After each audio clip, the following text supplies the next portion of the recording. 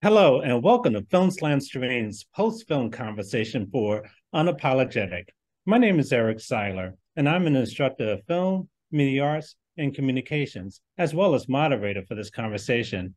We are very pleased to be joined by the director of Unapologetic, Anthony Ciancio. Anthony's joining us from Chicago today. Hello, Anthony, and welcome. Hey, Eric. Good to see you.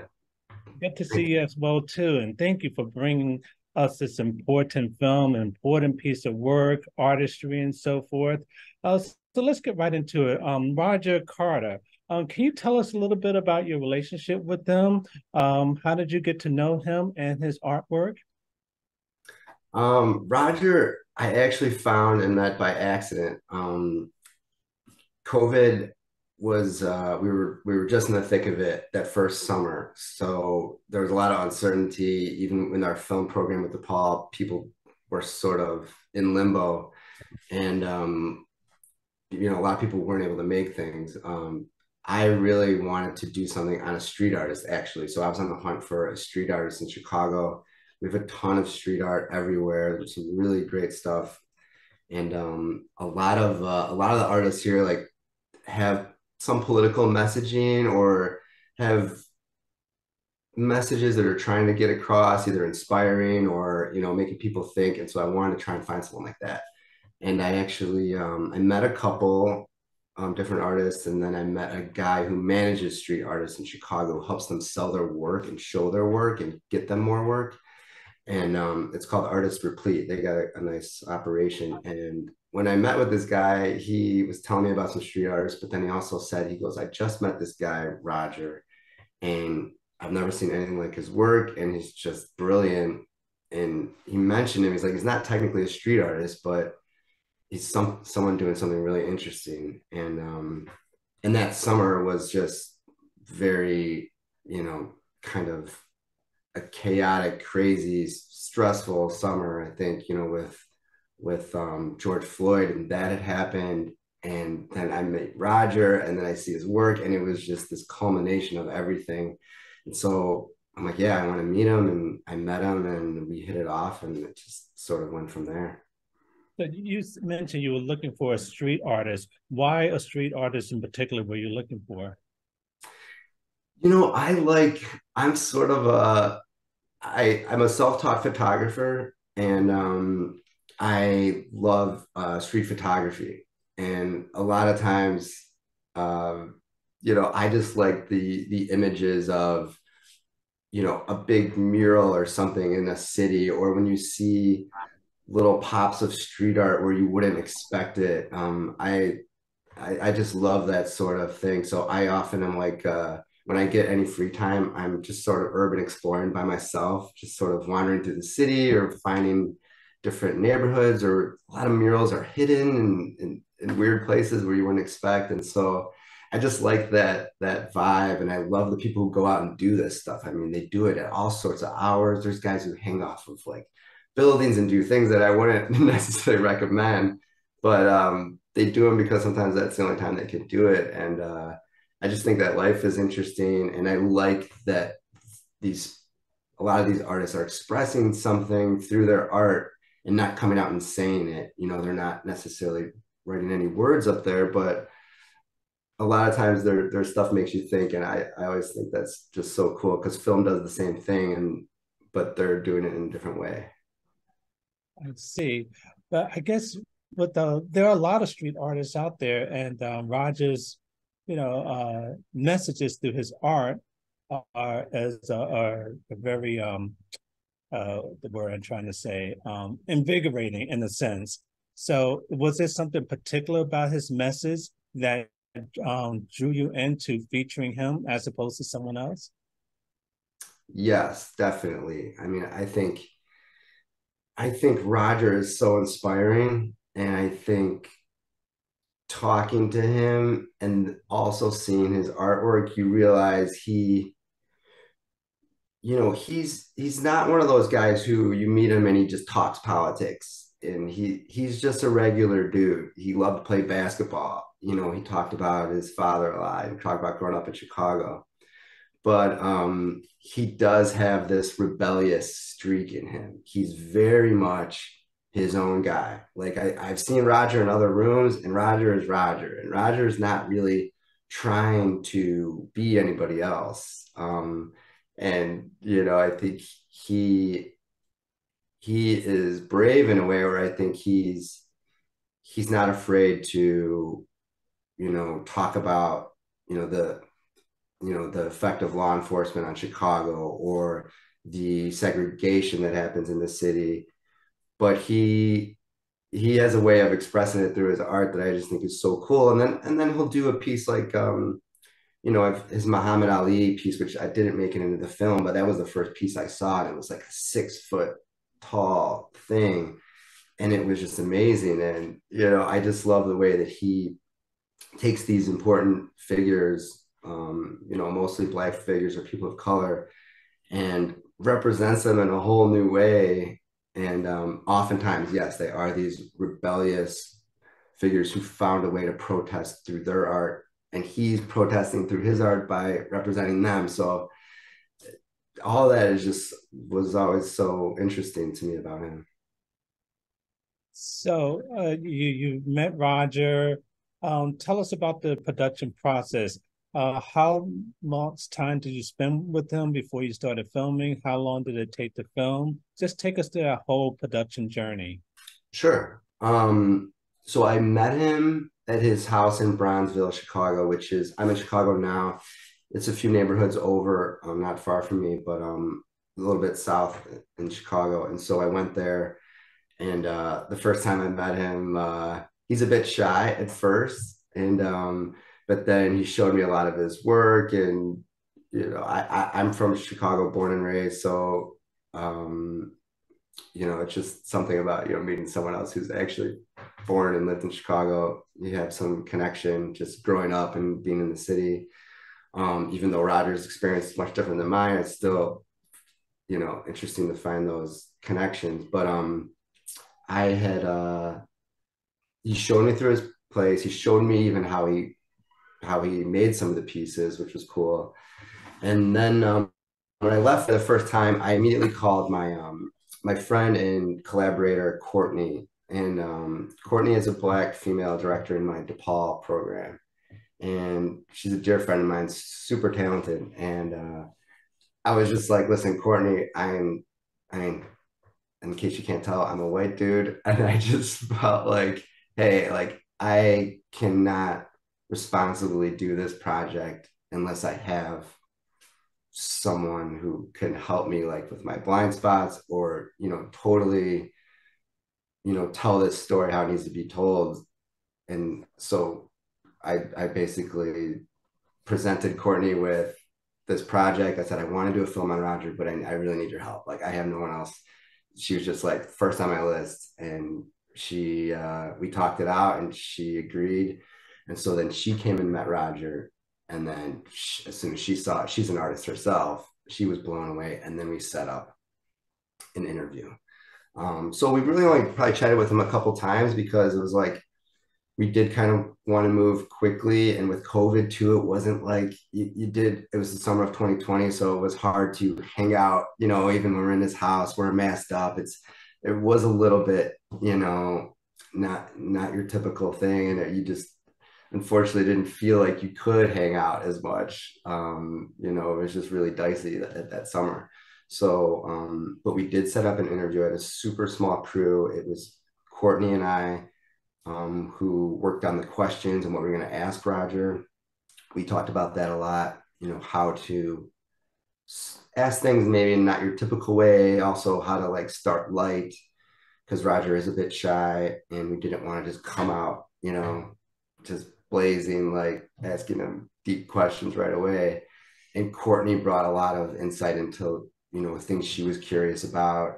She loves sports, and Roger has a basketball background, and so we wanted to touch on that. Roger like was supposedly really great in high school, and it, you know, he really uh, could have played, but then, you know, he, he, even in the interview, he said he just got turned off from basketball, but he always wishes he kind of stuck with it. Um, so, and then we brought in another guy, Greg, who was our uh, student at, at DePaul, and he came in and did sound and camera. So it was just the three of us. So we set up a date. set up in Roger's living room. So we have video of the whole interview, which was about 75 minutes, but we didn't use that in the film. Um, but we have the footage because we needed the audio for sure.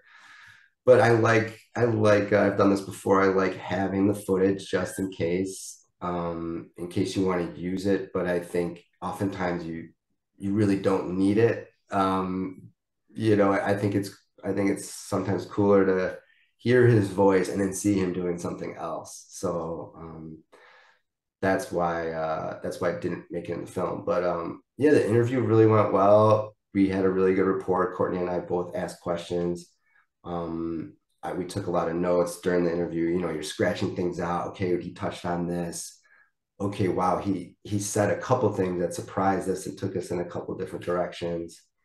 His his um his occupation as a uh, software engineer totally blew us away because it was like during the interview that it really hit me that like the way his mind worked for software engineering, like these little how he puts these little pieces together to make a bigger whole is exactly what he does with his work. And it's so interesting to see that like his mind translates that way. Um, so yeah, once the interview was done, then Courtney and I took the audio, we transcribed it. There's um, um there's software online that you can do that. So we uploaded it, then we had all the words.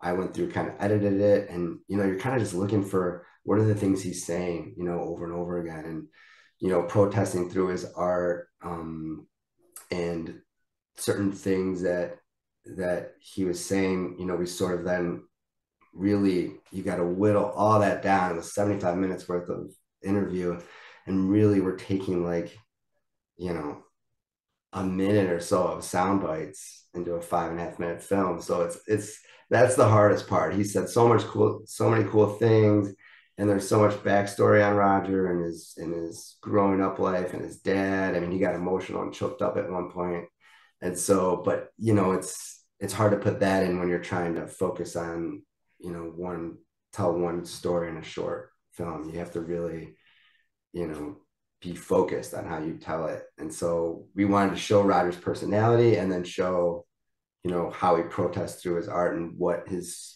why he does what he does. And so that's what kind of led us to the sound bites we use and then pass it along to an editor. I tried to edit the first few cuts. I'm not good, you know, I, I, can edit, but I'm not as good as an actual editor. So uh, Magdalena, our editor, took what I did and then totally added all those creative touches, like the um, the transitions of the toy soldiers over his face, and she gave it an artistry and a creativity that I was not able to do. And um, sound design came in. Um, she found the music too that we use, which is always a tricky thing as a film student. You know, you can't, you don't have the money to you know, you want to use all these cool songs that you know.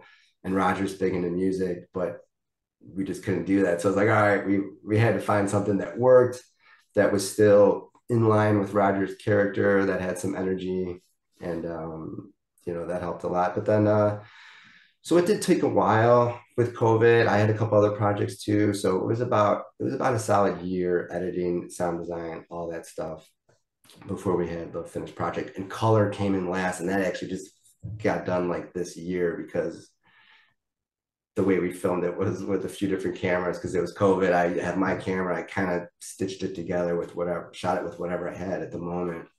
Um, so uh, yeah, that's uh, it's it's always a takes a, a small village and collaboration is key. You can find people that to help you. Yeah, well, I, I applaud you for you know putting this together, and most importantly, you knew what you didn't know. Bringing in Courtney into uh, this piece was vital. Uh, and uh, that's one thing if we have any um, aspiring filmmakers out there, you know, you don't have to know everything. You know, you just, you know, bring in a team to help, you know, make the piece, um, you know, work. So that's that's really great. Uh, you know, I know there's um this uh, this rebellious nature, as you indicated in the film, but tell us a little bit about the reception of the film. How did people receive it, or did everyone receive it the same? You know, I'll, I'll say honestly, and I didn't mention this. Um, I come from a law enforcement family, my dad is a Chicago police officer, retired. My brother is Chicago police. My uncle was a commander in Cicero. Um, I have friends is Chicago police. So you can imagine it's a bit touchy. Um, and um, my wife and I talked about this a lot. Even, you know, I was I was nervous. I was super scared because I I I uh, you know, when things get hot and and, and things happen in the world, you know, especially these things you see on the news with police and it's upsetting. It upsets me at such a deep level and it's so conflicting because I have family who have served and I know I know good police officers, you know, I know, you know, uh, but I know that it's also very, you know, it is uh it's not a perfect system. And like I I I am always I respect the people that I know in the circuit because I will add, I'll call my brother like when things happen, I'll I'll be like, can you explain this to me? You know, and so he will talk it out with me and he'll he's a pretty good sounding board because he'll be like, listen, this is why this happened, or he's like, this was wrong, you know. So with George Floyd, it was like so obvious, you know. Um, but my point in saying all this is when we did get released, you know, I, I told people what I was working on, but like, you know, not everyone knew the scope of it and um but before right before we released that i was nervous about what what those folks would say. And um you know what? A lot of them really loved it. I, I was i was and they were genuine. Like I, I they were like you know oh my god i love his work. It's so cool what he's doing. And i was just blown away. I was like god you know what was i stressing about? But um I think that go that's a I don't think that's anything to do with me more more so. I think that's a testament to Roger and how he approaches things. I really think Roger approaches things with love, even the way he talks. It's like I'm not telling you to be a Republican or a Democrat or anything like that. Like that's why I left that in there because he really is like that. I think he can have a conversation with anybody. Um, and and I'm sure even some of his thoughts are pretty provocative. I don't think you can I don't think you can pigeonhole him one way or the other. I think he'd probably shock you like on how he thinks about things. And I think that's a lot of people is we're not one, you know, sometimes it's easy to put people on one side or another, but I think people are more complex than that. And I think Roger expresses that. And um, so those, a lot of a lot of that nervousness was went by the wayside. And then so many other people loved it, of course. Like I, I just I think people were um and just it was just Roger's work. And I, I think it was more because we we revealed his work later, which I really wanted to try to do, which was show Roger working, but not really getting a sense of what his work looked like until you know the final moments of the film. And so I I, I think uh, when I've sat in rooms with people who watched it you kind of hear a little bit of a wow, like or a sort of a gasp when they see, you know, especially um, you know, um, the later pieces that are just huge. Um, so I just think uh, that that's cool to see and people enjoyed it. No, well, great, great. Uh, I'm glad you shared that information with us about your family. That's really, really uh, cool. Uh, as we're wrapping up here, um, unapologetic why did you um, uh, call the film that? we we had a few titles. I can't remember a lot of them now, but um, um, you know, Roger, and again, this goes back to like Ro- Roger being Roger. Roger is unapologetically Roger. Roger's gonna say, you know, what's on his mind. He's very um, he's very sure of himself. He knows who he is, and he uh, yeah he is just very unapologetic about the way he lives his life and on a daily basis and what he does and what he says and in his artwork. And i think um yeah to me it was just uh it was the only title really in my mind um after we really thought about it. Great so what's next for you? Um are you thinking about making this into a feature? Are you um, moving to another area in terms of filmmaking um, so I'm actually working on a couple other short documentaries now. One is about um, a cover band in the suburbs called the Pigs, um, which is kind of a funny name, but they're actually really good. And my my my wife's sister, my sister-in-law, is their only um, female member, and she's a singer, and she, they recruited her from like a karaoke night, and they have like a huge following. So it's kind of a crazy story. Um, and these people are all in their mid 40s, close to 50, and they play shows and they have people who follow them. And I think it's the message there is just, you know, creativity doesn't have to end or you just found find these creative outlets outlets. And they they all have regular jobs. They're lawyers and financial people and whatever but they come together and do that. And i have another uh, short documentary on a bocce league that has kind of exploded in the city or just outside the city. Um, that has all these people playing of all ages and backgrounds and bocce ball has just become kind of a just uh, blown up like uh, nationwide um, and then I'm also working on a short, um, a narrative short, fictional short that I'm going to shoot this summer. Something with a little science fiction. Um, so I've kind of scratched the documentary itch, and I want to do do something a little more uh, narrative. So we'll see. Great, great. It's uh, important to diversify yourself as a filmmaker. And um, I'll close with the, the words of uh, Roger Carter. He says that it's important that we document our, our times here on this earth and I'm really glad that you documented him as an artist, filmmaking artist, um, and bringing us this important piece of work. Thanks, Eric. Yeah, Roger. Roger always says it's best. Says it, uh, says it best. So uh, I appreciate that. That's a good message. That's all the best to you. Thanks for joining us. Thanks, Eric. Take care. Mm-hmm. And thank you to our audience for joining us for this important and invigorating conversation. For more information about upcoming film festivals, please visit us at clevelandfilm.org. I'm Eric Siler. Thank you.